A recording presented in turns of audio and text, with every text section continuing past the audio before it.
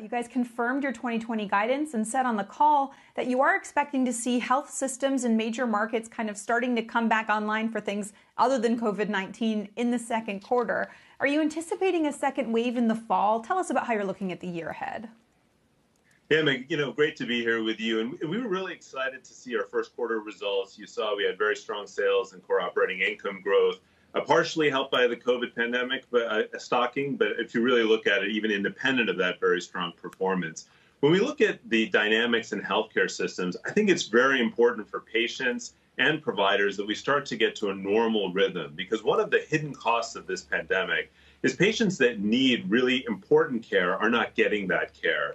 So our belief is that in our conversations with healthcare systems around the world that there is a desire for those systems to get patients back in really try to come up with creative ways to manage the risks with respect to, to the pandemic, but make sure those patients get that care that they need. So we're optimistic that can happen in the Q2 time period. Now, in terms of future waves, hard to know, of course, but our, we're optimistic that with all of the knowledge that we've generated on how, on how to treat this virus, how to track the virus, how to take public health measures, that future waves can be managed uh, hopefully better than the first wave to limit the impact on healthcare systems.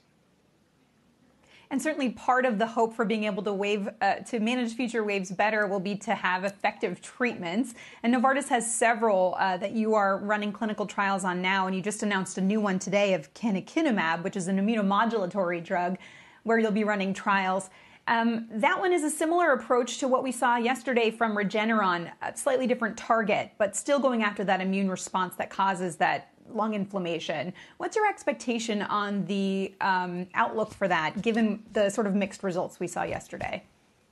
Yeah, I think first it's it's a it's a high bar to find uh, effective medicines from repurposed drugs. We know that, but this, of course, is a situation where we need to do everything possible to help patients in the hospital or in the ICU and all of the frontline workers who I think are working tirelessly to try to manage these patients and, and help the healthcare systems cope.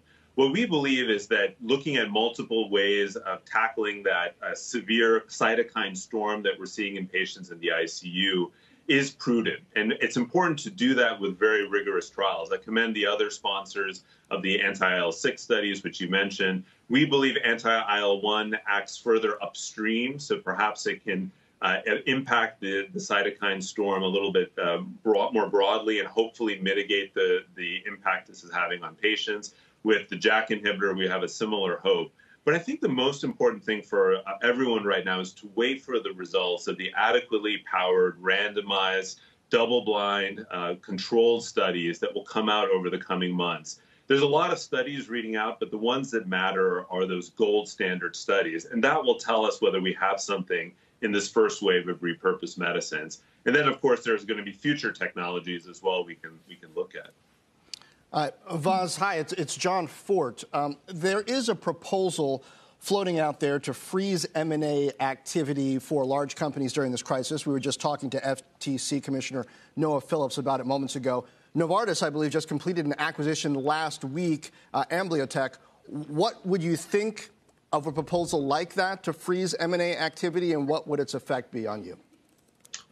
Well, I, I, think it's important to look, uh, of course, first at different sectors with the appropriate lens. I mean, my, you know, when you look at healthcare and you look at, uh, you know, our sector, pharmaceuticals, we're in a healthy financial state. We're taking care of our employees. We're contributing to the pandemic uh, response. So I think, you know, we we have the opportunity to, of course, continue to look at business development, the development, licensing, um, and M and A.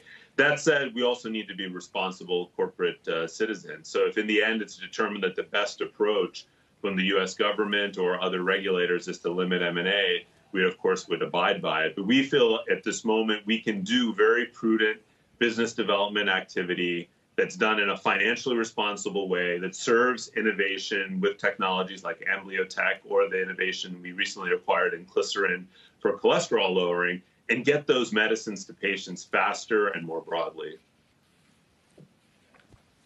How much are you worried about or thinking about uh, the degree to which advances come vis a vis the coronavirus and nations fight over uh, the early promises, where nationalism has a, a detrimental effect on global public health? So I think this is a, an important consideration, but I'm optimistic when I look at some of the all of the great collaboration happening now across the industry. Whether it's the uh, Gates COVID uh, accelerator that we're currently working on uh, with a range of different sponsors, which uh, and, and, biopharmaceutical companies, which really works across geographies to get manufacturing scale, research scale, development scale. We have similar initiatives in Europe. As an industry, we're trying to take a very global perspective. And so we're hopeful we can overcome uh, some of the nationalism that has happened in the past during the H1N1 pandemic, where I was uh, involved very heavily. There were moments where there was nationalism to hold vaccine supply. I think this is a moment where if we get an, a good therapeutic or we get a good vaccine, we need to ensure broad access to populations around the world. Well, it's an important question. And of course, one drug that's had a ton of attention is hydroxychloroquine. Novartis is donating 130 million doses of hydroxychloroquine, but you're also running a controlled clinical trial. Um, tell us about how you would assess the data you've already seen on that drug. Um, and is it difficult to run this controlled trial when the drug is already being used so widely in treatment? Look, Meg, these are these are great questions. I think the first thing for all of the listeners to understand is there's a range of studies reading out, but again, the design of studies matter, the patient populations matter, the dosing matters. All of these are important factors. But the design is paramount. Do we have randomization? Are we double blinded? Are we adequately powered? That's the gold standard that regulators use to determine if a drug works or not. We've had very few studies like that. So most of the studies on hydroxychloroquine are indicative of perhaps some benefit in some populations, a lack of benefit in other populations. But the truth is, we simply don't know. So our goal was to run a study that would be adequately powered, endorsed by FDA in hospitalized patients, 440 patients, randomized to hydroxychloroquine, hydroxychloroquine plus azithromycin, an antibiotic, or best standard of care.